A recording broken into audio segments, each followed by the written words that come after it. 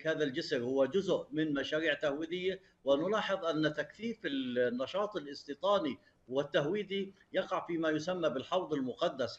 وهو من الشيخ جراح شمالي البلدة القديمة إلى منطقة سلوان هنا جنوبي المسجد الأقصى بما فيها البلدة القديمة. أولا لتغيير المشهد في هذه المنطقة وأيضا لخنق البلدة القديمة والمسجد الأقصى المبارك بمشاريع تهويدية ولسلخ هذه المنطقة عن إرثها التاريخي الحضاري العربي والإسلامي ولاستخدام هذه المشاريع. أولا للسيطرة وسرق الأراضي ومنع السكان من التمدد والانتفاع والبناء أو الاستثمار وأيضا لإثبات أحقية وجود تاريخ مزيف ومزور لهؤلاء على المدينة المقدسة.